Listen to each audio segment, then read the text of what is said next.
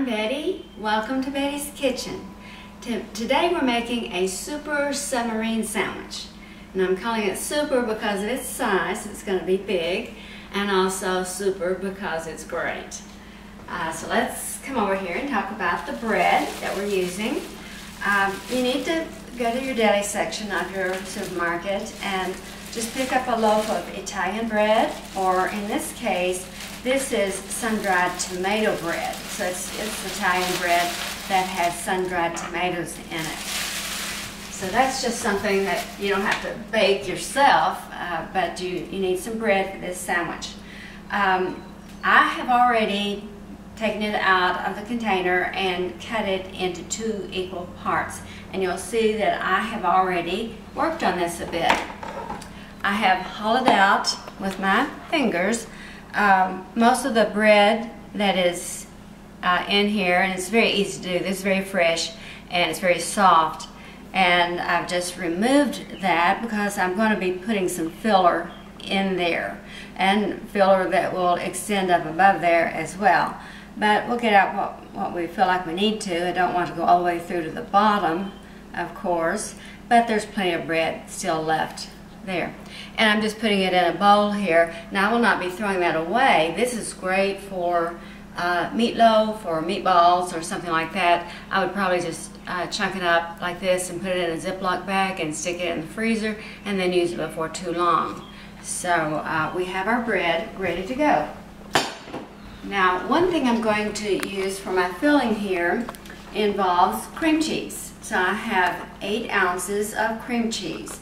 Uh, this is just regular cream cheese. You can use uh, fat-free if you'd like to. Actually, I thought I was picking up fat-free, but um, there's going to be so much cheese in here and so many meats that uh, it's not one of those that you can save a whole lot on uh, in terms of changing out the cheese right here. This is 8 ounces worth and it's at room temperature. And to it, I want to add 2 cups of shredded cheese. Now, I'm going to write this up as two cups of shredded sharp cheddar cheese. Actually, what I'm putting in here for my demonstration is one cup of the sharp cheddar. And then I've made so many recipes lately that have called for various types of cheese that I wanted to clean up my refrigerator a little bit so um, I have nacho and taco cheese. I finished that one out. These were all fresh, but just a little bit in the bottom, so I didn't want to throw them away. I had a little bit in the bottom here of mozzarella, and I still have some in the bottom here of Parmesan. So I just put those together, and instead of having two cups of sharp uh, shredded cheddar cheese, we'll have one cup of the cheddar, and then this other cup is going to be a mixture, so it doesn't, doesn't really matter, and it even might add to the flavor a little bit. So let's uh, mix this together. This is what your mixture looks like when you have the cream cheese and the uh, cheddar cheese blended together. Next thing we're going to do is spread this in here. So you can just take a small amount at a time and then uh, use maybe a spreader such as this to press so it I down. Have both halves spread out with our mixture. And uh, the next thing I'm going to add um, are slices of sweet pickle. Now the easiest way to do that is to use something called stackers because they are long and you can get a lot of coverage very quickly instead of doing one little slice at a time. So just place these um, in a way to cover best. I think maybe going lengthwise with two. So we're through adding the pickles. And next I want to tell you what I have here and then you can make a decision as to what you would want to add into your own submarine sandwich. Um, I've got three kinds of meat and I've got three kinds of cheese. And I've chosen meats that are uh, very common and uh, most everybody likes them. I've got some uh, I got one quarter pound from the deli of turkey, which is shaved, uh, honey ham, which is shaved, and roast beef, which is shaved. And you might want to use two or three cheeses. Uh, we've already got so much cheese in here, probably two is going to be enough. So maybe pick a, a white cheese and a yellow cheese. Uh, this yellow cheese is medium cheddar slices, so I think I'll use that. And this uh, is a box that has some provolone slice. So I think I'll start with the meat. Let's go with uh, some turkey first. And there's no need to uh, go to both sides when you're putting this on. Just bring out some turkey meat and put it on one side. Remember, all I have here is a quarter of a pound, so I probably want to use it all. And that means that when I have these big sandwiches, or this big sandwich done, it will only have three quarters of a pound of meat in it. It looks like more maybe because it's shaved, but I would alternate the meat and the cheese. So after getting this uh, flattened out a little bit, you want your sandwich to close well, and if it's humped up in the middle, then that's going to be a problem. But if you get that, then pick one of your cheeses, maybe this one, and put uh, two or three. Uh, generally, it will be three because Italian bread is generally longer than this loaf. The sun-dried loaf is kind of a specialty thing, and it's a little bit shorter than what I'm used to. And then let's go with, say, the honey ham, and we'll place that, a quarter pound, right on top. And again, using it all, but spreading it out so that uh, we'll be able to close the sandwich.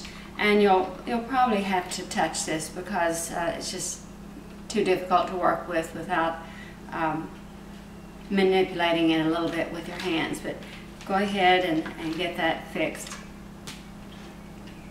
And then, as I said, I chose um, the cheddar cheese, about three slices. These are kind of small slices. We'll go there. One, two, and then one more. And then we're going to have our roast beef. Which we'll put on very quickly.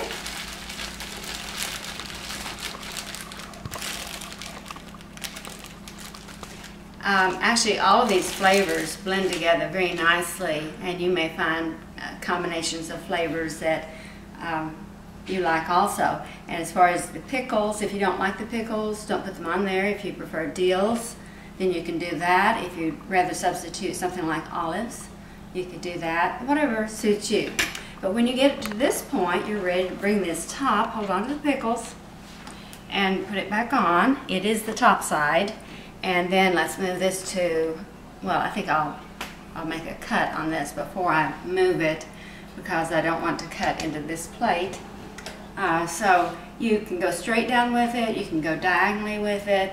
Uh, let's just go straight down. So the end piece is going to look like this.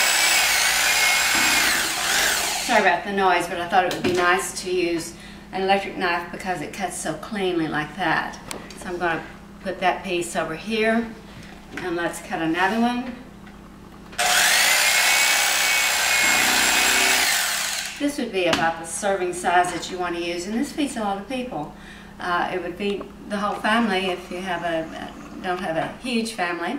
Uh, so I'm going to um, set, set this one aside for a moment and bring the rest of my sandwich over and place it on the serving platter. And I would normally go ahead and slice it all up, but save a little time, you can just imagine what it will look like once it's sliced. I have a little bit of messiness here to clean up. And then that piece that I set aside, that was for my plate. So here we have a plate that, uh, you notice I did not put mayonnaise, mustard, lettuce, or tomato on this. And there was a reason for that. Um, you can freeze this like it is. You can refrigerate it or you can freeze it. Uh, so you, if you are a single person and you make this sandwich for yourself, you can make it one time, cut it into slices and freeze them individually and then when you get them out, thaw them and have them like they are or you can microwave them or you can wrap them in aluminum foil and, and heat them in the oven. Uh, but since I like lettuce and tomato, I put some there, which I can add to my sandwich or at, eat as I'm having the sandwich. I put a little bit of um, olives there, and then I've got so- a stack here of some Pringles for some extra spice. I think those are buffalo wing variety. And then I have my iced tea to go with it. And that's a nice little lunch.